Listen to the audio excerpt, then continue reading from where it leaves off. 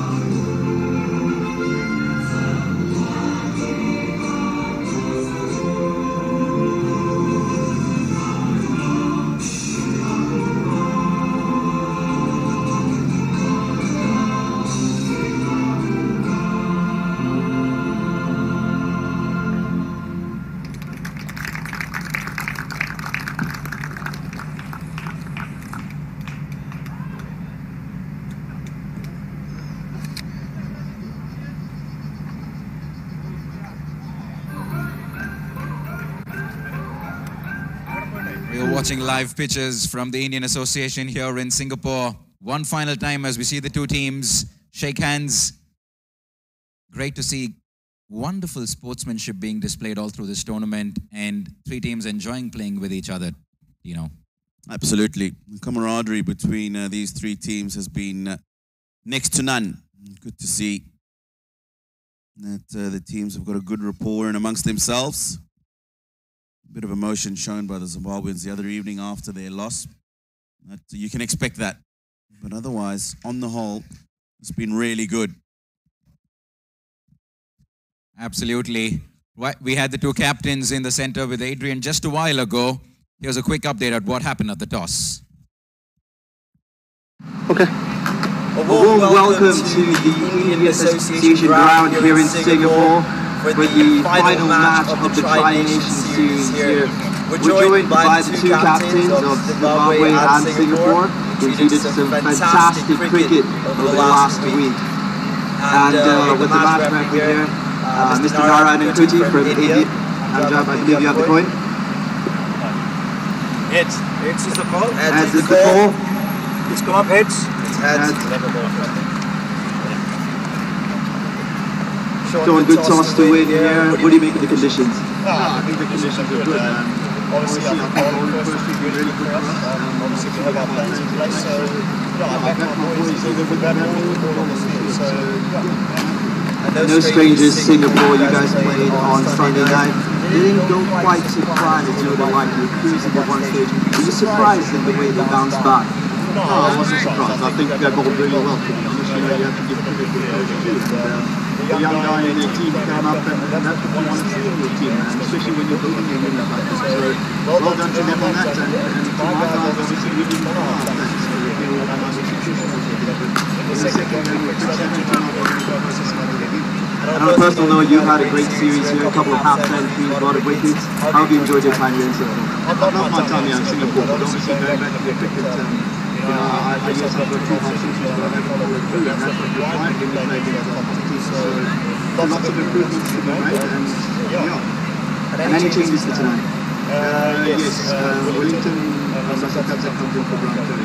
Uh, good luck, go well. Thank you. Amjad Mahboob, the Singapore captain. Happy with that?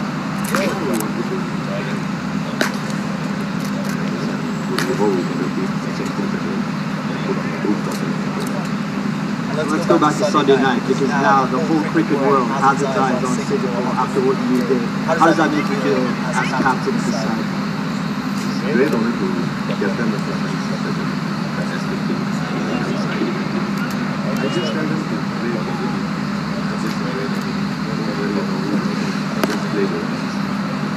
You mentioned you wanted your boys to play fearless cricket when you came up against Zimbabwe last week. How impressed have you been with the youngsters on this side? Janak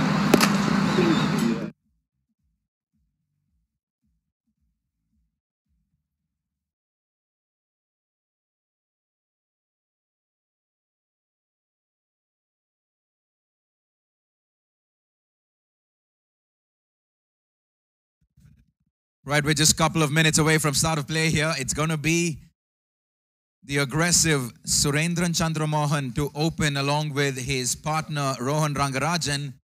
And no surprises from Zimbabwe. It is going to be the captain, Sean Williams, you know, with the ball in hand once again from the pavilion end. Zimbabwe have taken this ploy throughout this uh, Tri Nations tournament, back in Bangladesh as well prior to this, opening with the spinner. Wellington Masakadza took on that role early in this series, took some stick in the last couple of games. Sean Williams in the last game was extremely good with the ball, opened up first over once again from the pavilion end, which he's doing again tonight. You saw what Rohan just did, right? That's the typical Shivnarine Chanderpaul that we see there. Haven't seen that in a long time, actually. Very hard surface the pitch, so maybe he feels his uh, studs wouldn't be able to do justice to his marking of where he wants to stand. Just about ready to go. Sean Williams, first up. Short.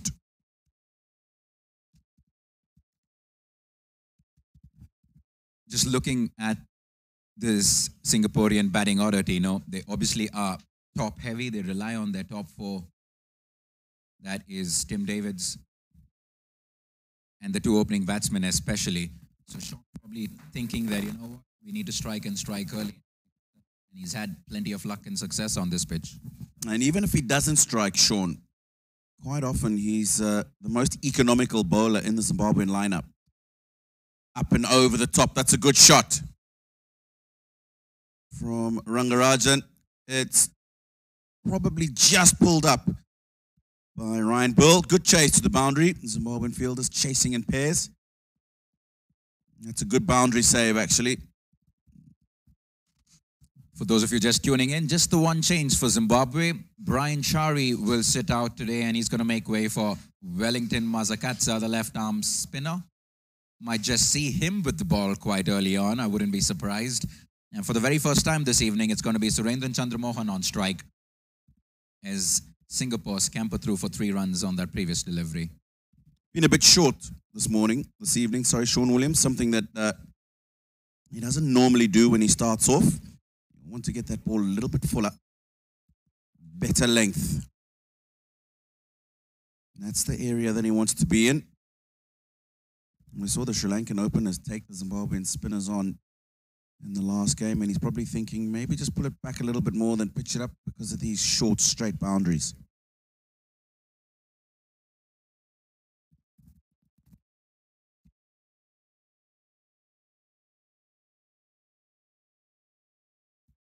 That's the one, pitch number two. And uh, as we saw, pitch that uh, people can score runs on first and second innings.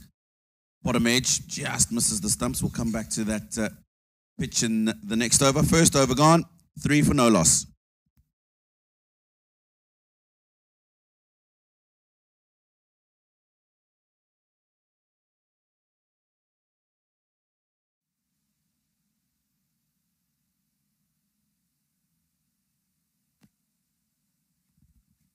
That's the surface.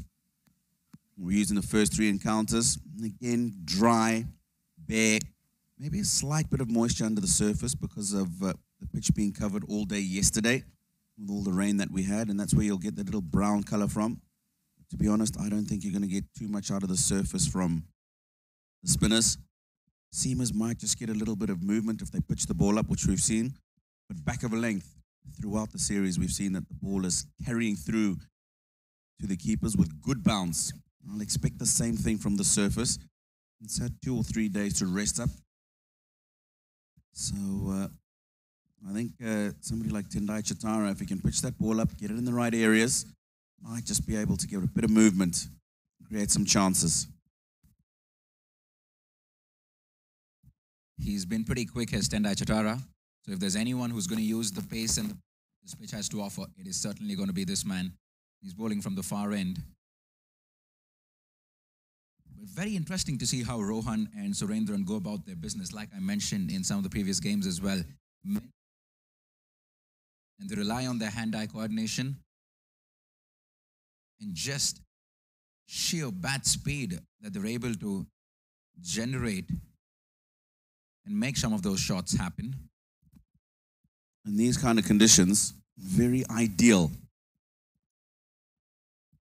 The fact that they don't use their feet because there's no grass, not much assistance for the bowlers. And uh, ball really does get onto the bat. You can see there's almost a little bit of a sheen on the surface, a bit of a shine, which tells you that rock hard, expect the ball to skid onto the bat, especially faster bowlers. Surendran Chandramohan quite unhappy that the umpire didn't give that a wide.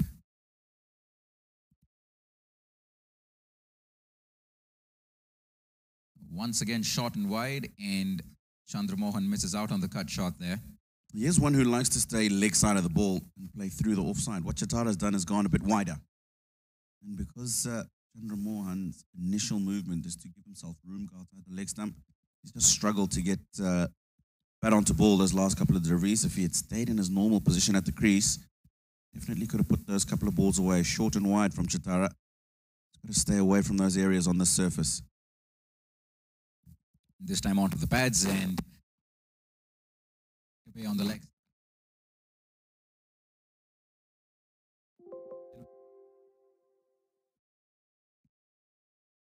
But apart from that, plenty of sixes.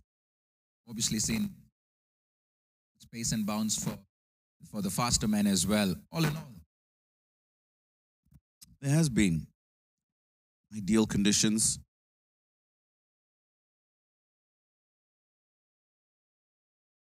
Swap by Chatara.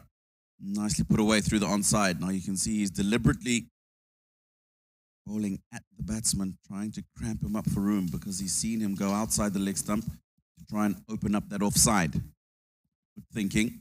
Cricket all round. had a good time yourself. Week for you here. Apart from the cricket, have you had some time? Step out and look at what Singapore has to offer. I have a little bit. Been uh, taking a stroll outside the hotel every now and then. Wonderful area. I've realized that if I want to get out and see some stuff, I need to do it before about 3 p.m. in the afternoon when the clouds gather and uh, the rain starts to fall.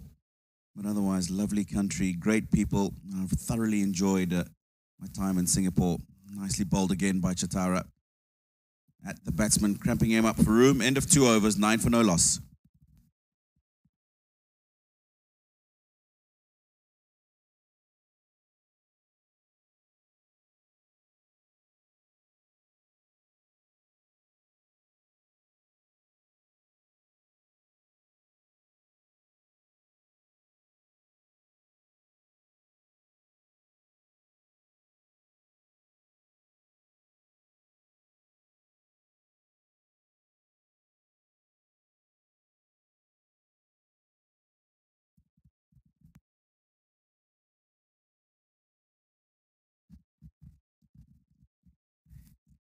So another change in the bowling from Sean Williams here. It's going to be Daniel Jakiel to bowl the third over from the pavilion end.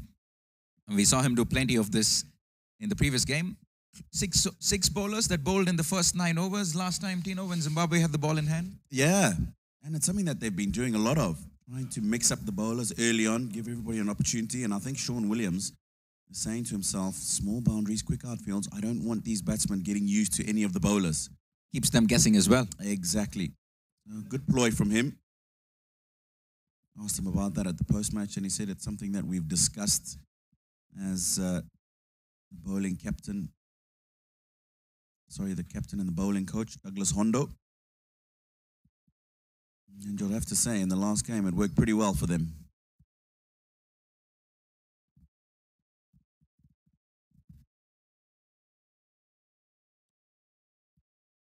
Those of you just tuning in, we've thoroughly enjoyed bringing you live pictures of the Singapore Tri Nations T20. I brought to you by Instagram. Great pictures brought to you by Willow HD TV, the fan code app by Dream 11, obviously the Facebook page as well, Singapore Cricket Association, and vcsports.com. So, plenty of options for you to catch live action of the Singapore Tri Nations as Daniel Jakiel runs in.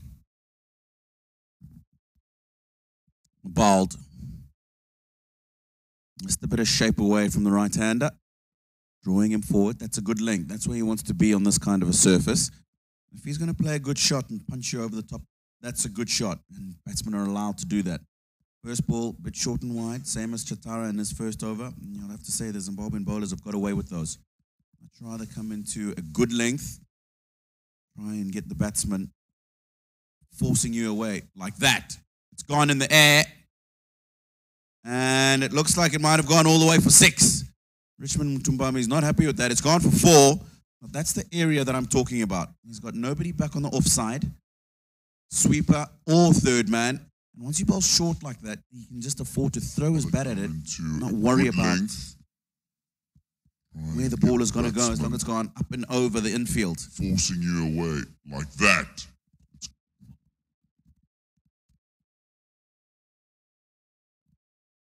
Talk to us a little bit about Daniel Jakiel. You know, tell us a little bit about where he's from and how much of cricket that he's been playing. Uh, Daniel Jakiel has got uh, a lovely story actually. There's a change in the field. Third man goes back to the boundary. Fine leg comes up.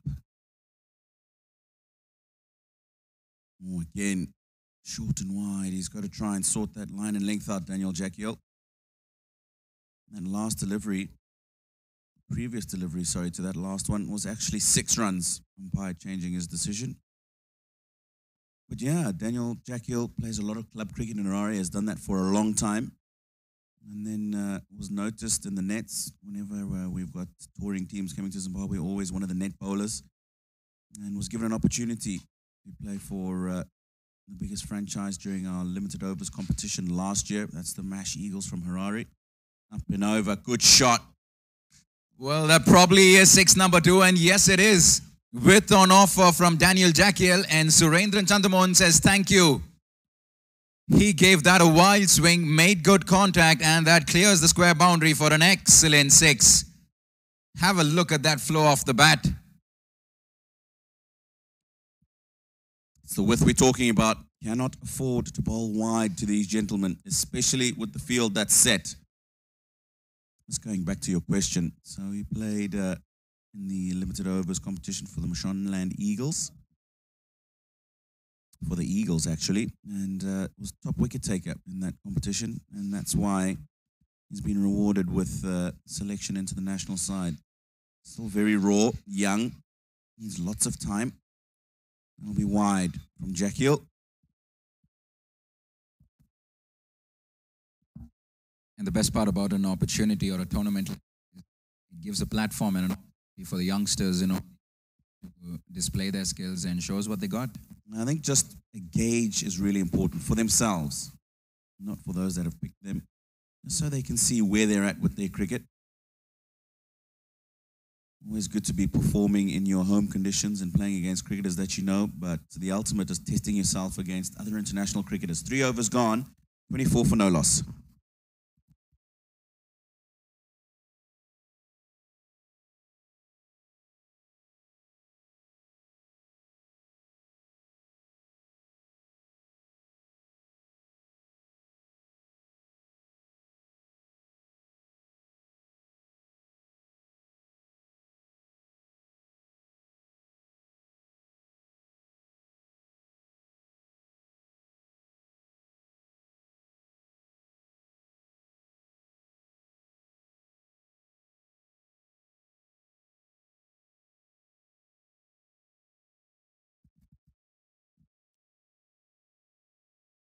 Well, the names may not necessarily be in the right order, but we will probably see Tim Davids come in at number three.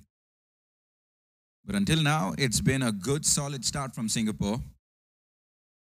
Three overs completed, 24 for no loss, and it's going to be. Ah! Yes, a wicket of the very first delivery.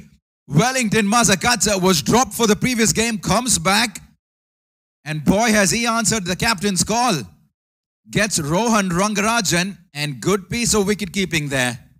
It's a good catch. Skidded on to Rohan Rangarajan. He probably expected it to just turn away a little bit. It didn't.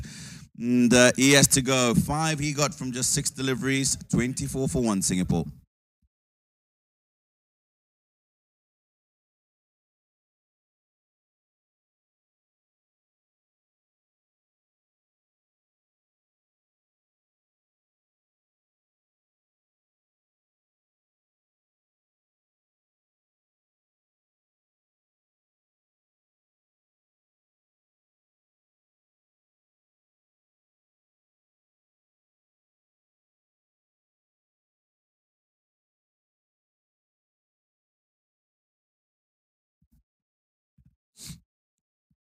It's going to be Tim Davids to walk onto the center now. You probably have to say Singapore's best batsman in this series, Tim Davids. He's been consistent. He's happy playing the sheet anchor role, and when the need arises, he certainly has it in him to go big as well. Timothy David also made his debut as a captain in this series. For the first game when Amjad Mahboob rested himself. And Tino, I was going to ask you this. I was surprised that Wellington Masakadza was dropped for the one game that he was because he was very impressive in his first outing, did go for a few runs in the next game, but he certainly seems to be a talented spinner. Yeah, he took some stick in that second game, and I'm assuming that's the reason why he was left out of uh, that last match against Nepal. His role normally is to open the bowling in T20 cricket. We talked about Sean Williams taking over that role in the last game and today. One that turns the ball a lot and get the ball through very quickly to the batsman. A typical left arm off spinner action. Yeah, I think he's a little bit taller, a bit lankier than most. And I think that's why he gets that ball through a little bit quicker. And in general, he's one who plays white ball cricket at home, limited overs, and T20 cricket. So he cannot afford, especially if he's going to be bowling early in the innings, to toss the ball too much. Otherwise, it gives the batsman an opportunity to get after him. So his mold very much one of uh, keeping the runs down and being economic as opposed to striking, even though the ability to strike he has. And Sean obviously recognizes the fact that he's not it's through and now you don't want to be bowling short to Surendra Chandramohan, especially in the mood that he's in today. That was asking to be hit short onto his pads, and that was easy pickings for six number three for Chandramohan. He's got right back quickly, hasn't he? The man that's on the boundary on the onside is uh, deep mid wicket. So he knew that if he can just get it square, he's getting exactly that. That's nicely played. Well fielded, but he's punched it and it's going to go over the boundary. Now that's another quick delivery from Wellington Masakadza, but wide outside the off stump. Really nicely negotiated. Very, very clever batting this from Surendra and Chandramohan. They're using the pace of Masakadza. Valiant effort in vain, unfortunately. Had too much on it. Races past the fielder. This is a good solid start from Singapore. Yes, they've lost the one wicket, but Chandramohan is getting a move on.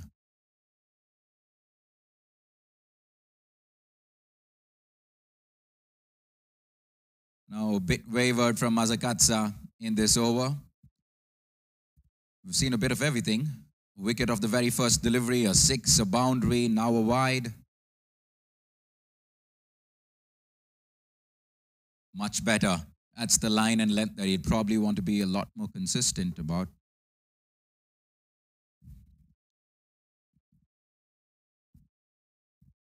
Four overs completed in Singapore, 38 for 1.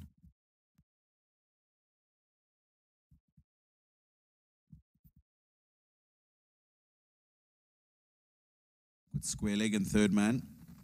Deep Right, backwards Tino, come up us through. And the sweeper's gone back on the offside because of that shot.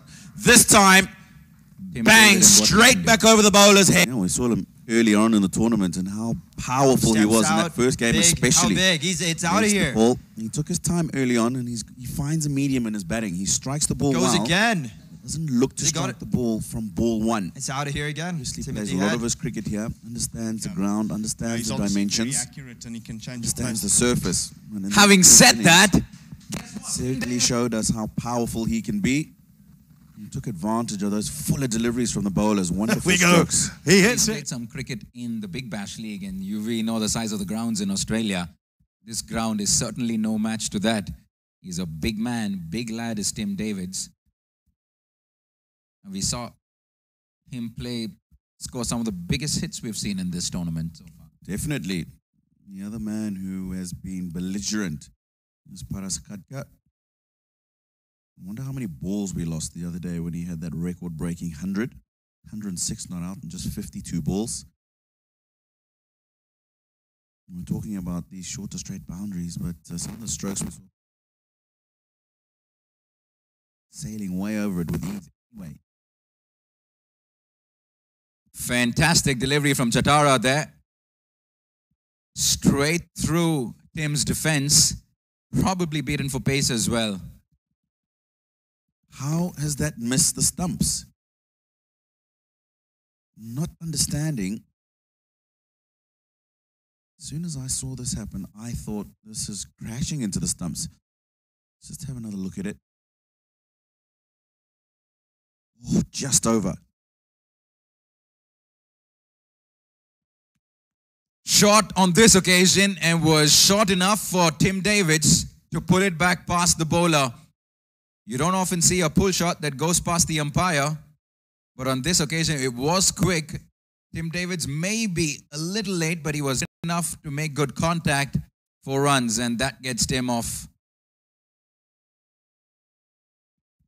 It's a really good shot because it wasn't that short. It's just a little uh, slap off the front foot. That's well bowled by Chatara. You seen him come down the wicket and he's followed him. David looks like uh, he's a man on a mission. Little front foot slap a couple of balls ago. Next ball down the wicket.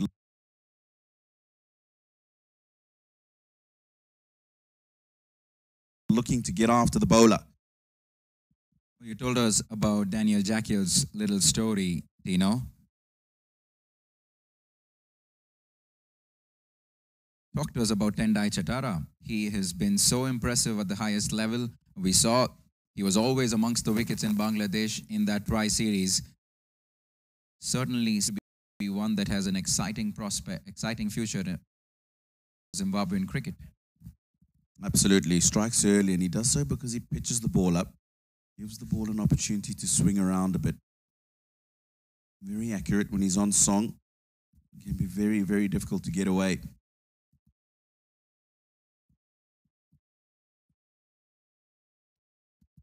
Well, it was this very pitch and the exact two same teams where we saw almost 360 runs being scored in the 36 overs the last time these two teams met. Basically, this is a ah. Just when I was saying that was a batting paradise this trip, Tim Davids pulls one through the deep mid-wicket an Excellent shot that was just too quick for the fielder. And another boundary to the end, end the fifth over. And Singapore 48 for 1.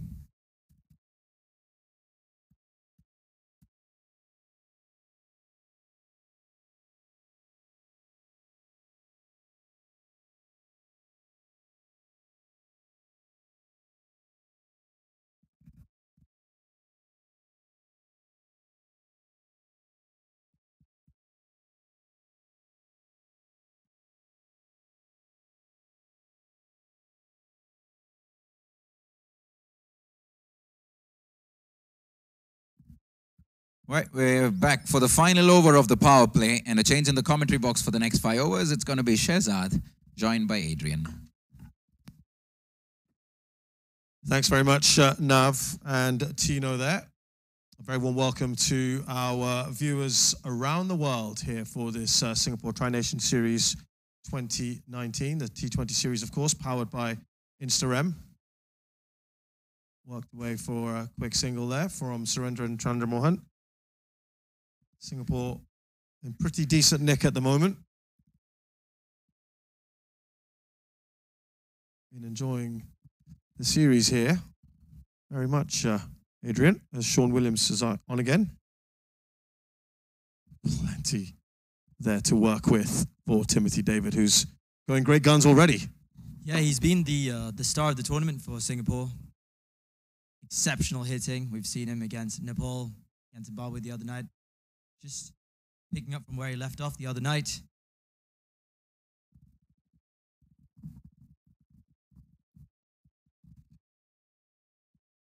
I think Sean Williams felt he had to bring himself back on to, to rein them in because these two have started to build up a little bit of an imposing partnership, got some momentum behind them.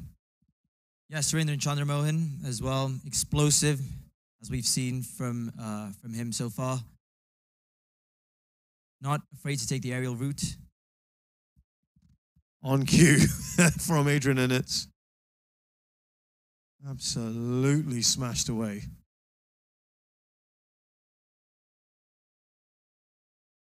Yep, stands and delivers. That is his style. Not much with the feet, uh, feet movement, excuse me. Doesn't need to. He clubs it. It's it so hard. You mentioned stand and deliver. Doesn't need the footwork. Knows exactly where to hit the ball. He shuffles back. He'll take that as well. I think this is some the difference between a batsman like Surendran and perhaps some of his Nepalese counterparts who who didn't really vary it, just always tried to play their shots and didn't try to work the singles. And that's why he's got Tim David at the other end, who goes down the ground. That is absolutely massive. Has gone into the empty plot behind the clubhouse, or behind the other end of the clubhouse, sorry. Huge one there of Sean Williams. 67 for one, off six.